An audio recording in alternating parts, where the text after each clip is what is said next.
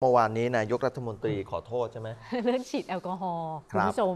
ตั้งแต่วันก่อนละที่ฉีดแอลกอฮอล์ใส่นักข่าว ก็ครับแซวกันหยอกล้อกันแต่ว่ามันกลายเป็นประเด็น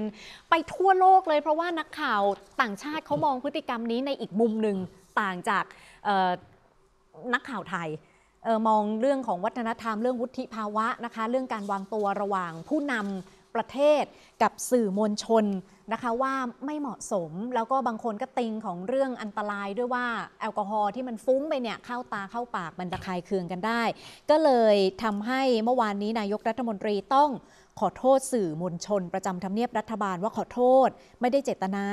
ปกติก็เล่นกับสื่อแบบนี้อยู่แล้ว วันหน้าจะไม่ทำอีกจะรักษากติกาซึ่งกันและกันนะคะ ฟังบางช่วงบางตอนเลยค่ะสวัสดี สื่อมวลชนที่รักทุกท่านนะครับ ก่อนหนึ่งต้องขอโทษด้วย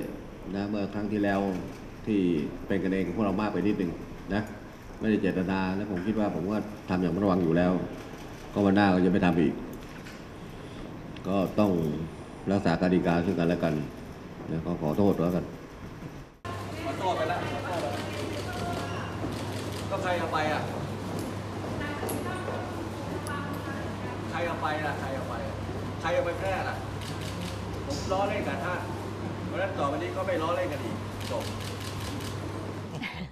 จบครัถ่ายบมือด้วย2มือนะคะ เพราะว่าเออผู้สื่อข่าวถามไปว่าเนี่ยจากเหตุการณ์นี้ที่ฉีดแอลกอฮอล์ใส่ผู้สื่อข่าวเนี่ยถูกวิพากษ์วิจารณ์ทั่วโลกจะทบทวนพฤติกรรมหรือไม่นายกรัฐมนตรีก็บอกว่าแล้วใครล่ะเอาไปเผยแพร่ไปออกข่าวน่ะครับ